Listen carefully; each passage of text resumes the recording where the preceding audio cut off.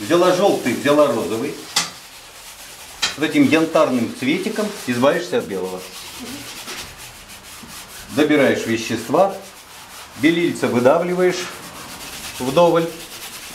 Вот такое примерно количество вещества тебе нужно на холсте. Когда ты сделаешь это количество вещества, ты возьмешь тряпочку, сделаешь из нее фигушку, и вот это количество вещества вот так упакуешь на холсте, то есть распределишь его.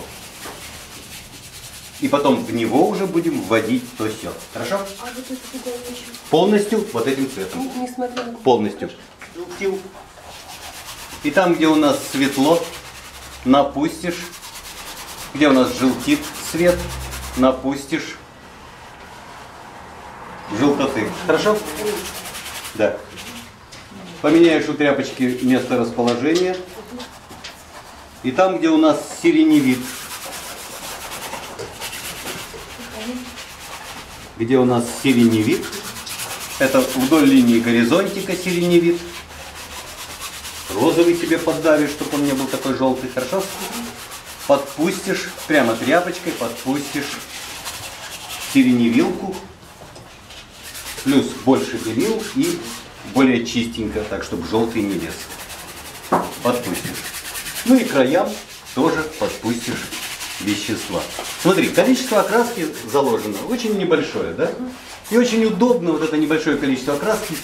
Но тут очень важно не вытереть краску с холста, то есть помусолить именно это количество краски. Потом ты возьмешь мастихин, возьмешь больше желтоты, плюс коричневизна. Ты видишь, появляется вот этот зеленоватый оттенок, плюс оранжеватый оттенок.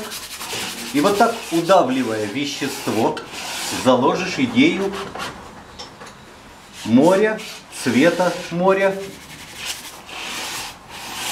Вот так заложишь, удавливая вещество.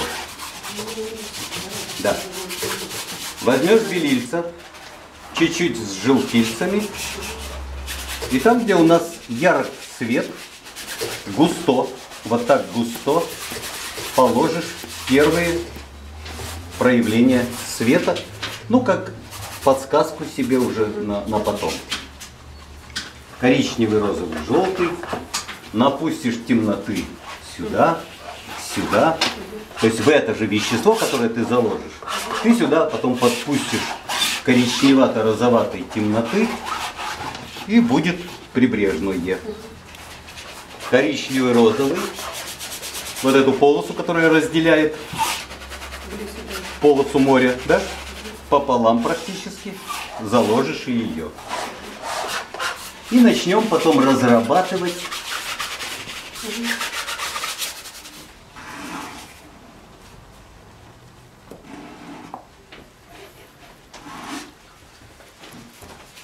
Короткой штриховочкой, короткой, не длинными полосами, смотри, короткой штриховочкой, напустишь дымочек цвета неба. Согласна? Хорошо. То же самое. Чуть смугленько подпустишь идею дальних удаляющихся вот этих гор. Чуть смугленько.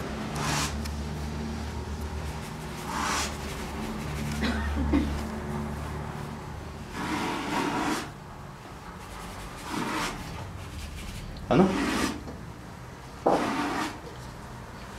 Здесь более равномерненько сначала уложить. Уложить более равномерненько. То есть вот это вот движение, которое ты делала, и получались вот эти пятна, не стоит делать. Стоит делать от края и до края. От края и до края.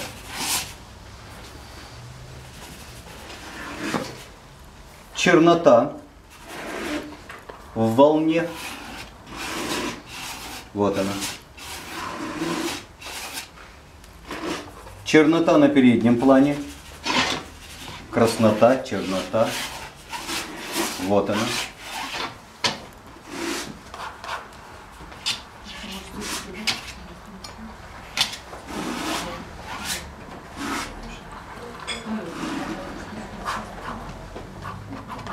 Каменюка. Сначала просто как пятно. Теперь вот эти вещи моделируем по их направлению. Здесь море поднимается, здесь море падает. Волна, да?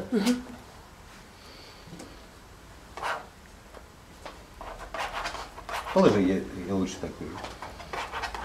А то рука трясется. Перемалывая, вот так, наштриховывая. У тебя, кстати, очень похожая задача. Иди сюда. Вот так, перемалывая, там, где свет пробивает тонкую толщину этой волны, она, поскольку она теневая и она прозрачна, мы ее вот так вот подштриховывая, небольшое количество вещества нагнетаем.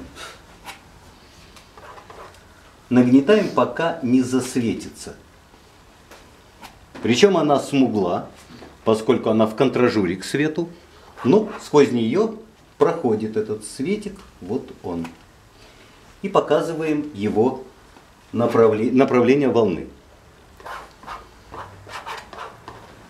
Снизу темно, да, толщина да, да. и э, это самое берег там прочитывает, ну, почва это, под водой. И вот мы направление задаем, вот оно. И сразу становится понятно движение.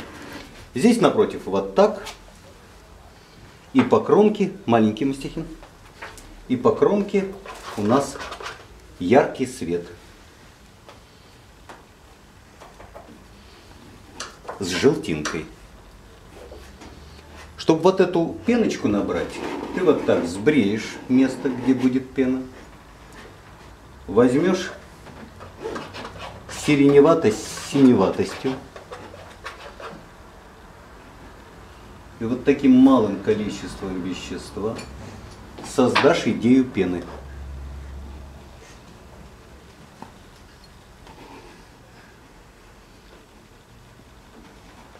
дымчато и прозрачно, правда?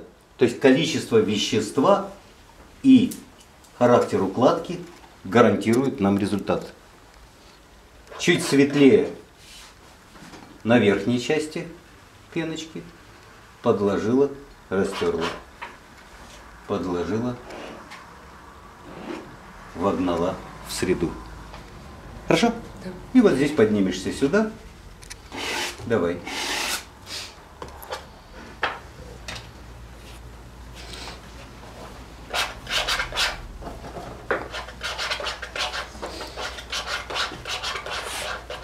Падающая среда. Падающая, смотри.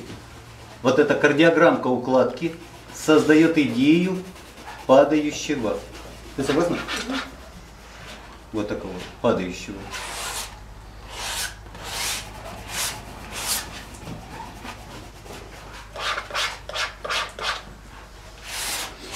Вот такого. Поняла юмор, да? Вот эта прозрачность, вот это падающее должно быть. Здесь, чтобы произошла идея э, это самое, закругления, добавишь немножко вещества, и вещество полосато ляжет. Согласна? Ну, смотри.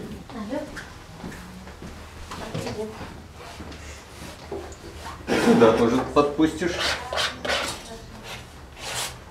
Сначала теневой цвет пены, теневой, который будет несколько синить, синить. А потом и световой, который будет который будет оранжевый, бело-оранжевый. Чуть-чуть светик мокрый. На камнях. Вот. И пена еще одно место имеет в картине. Вот это вот. То есть волна продолжается за камнем. И там тоже идея падающей пены.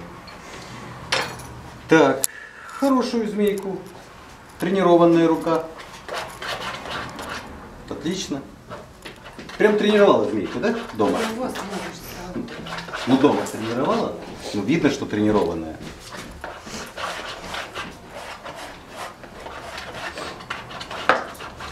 Эти змейки, они, конечно, везде пригождаются. Поэтому тоже чуть-чуть сиреневинкой. Там сиреневинка не так различима, но мы просто знаем, что солнечный день тени сиреневят.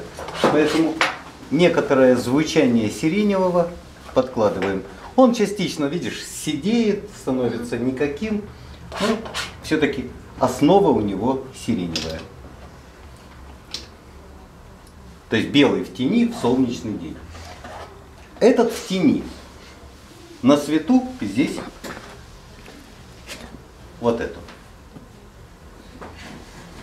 Да? Да.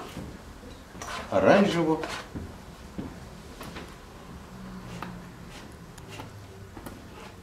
Бликовато. Густота, смотри, как да? слепило это дело. Дальние тоже уполосатить, удлинить. Ладно? Да. Давай так. Что-то быстро мы пишем. Что-что? Давай нагнетать желтый.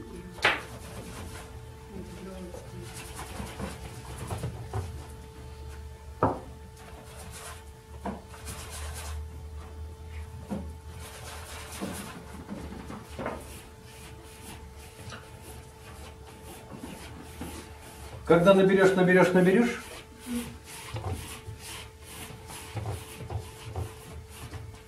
возьмешь мастихин и удавишь. Хорошо? Чтобы плотное было. Чтобы не, э, мазок не, не ребил своей фактурой. Мастихинчиком возьмешь и создашь идею облака. Пальчиком чуть-чуть можно помочь.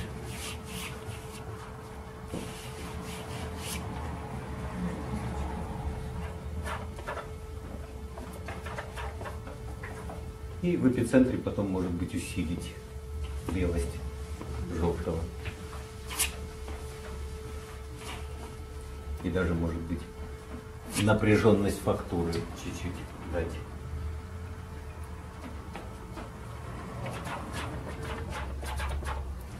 В районе Солнца потом поставишь вот такое.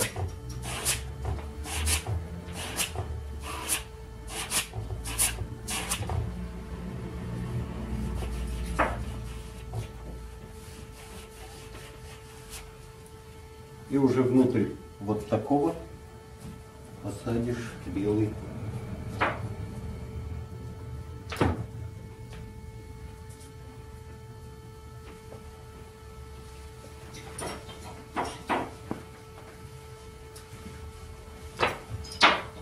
С этим белым лучше разобраться по-сухому потом будет. Чуть-чуть кистью его доуточнить. Хорошо? Потому что сейчас это будет пытка на полтора часа. Зеленому невыгодно там находиться.